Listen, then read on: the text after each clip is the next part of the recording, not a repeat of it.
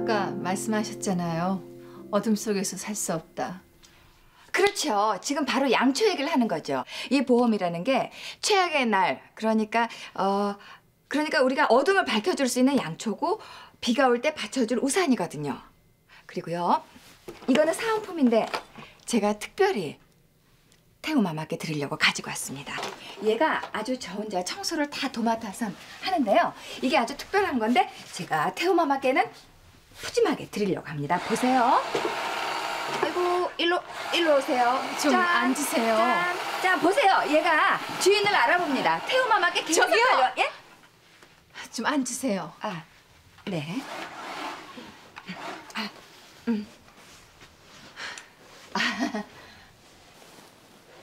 부부인 마님 말씀 무슨 말씀인지 알았습니다만 때로는 반대로 생각할 수도 있잖아요. 반대라뇨? 늘 밝은 빛 속에 살다가 어둠이 오면 어둠을 즐기기도 하고 또 비가 오면 비를 온전히 맞는 게 인생의 묘미 아니겠어요?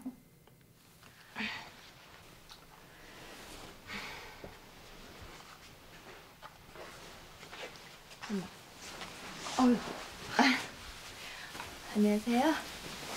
안녕하세요 부부인 마님. 예. 무슨 일이세요? 아이 저 보험 서류예요. 태우 마마께서 꼭 필요할 듯 싶은데 굳이 마다하시네요. 제가 아직 공부를 하고 있는 미성년자라 보험을 들긴 힘들지만 곧 자격이 되면 보험 들게요.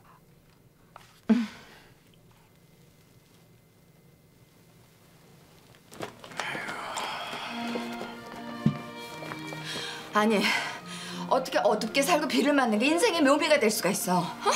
안 그래? 아휴, 내가 뭐라 그랬어. 이 결코 만만히 볼수 없는 강적이라니까. 아이고 옛날에 황태자배일 때부터 아주 도도한 게 마음에 안 들더니 결국 사람 속을 뒤집네 뒤집어. 내가 포기 하나 봐라. 아주 그냥 거머리처럼 찰싹 달라붙어가지고 보험 들게 하고 만다. 두고 봐. 그래,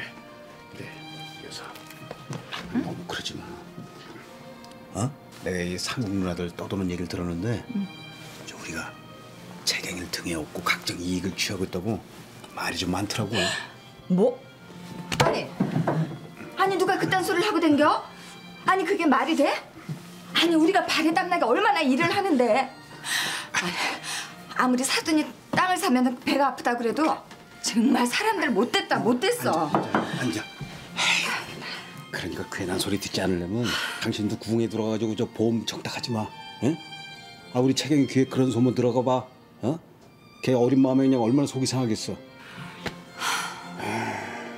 이럴 줄 알았으면 궁으로 시집 보내는 게 아닌데 불쌍한 우리 채경이 궁에서 얼마나 깝깝할까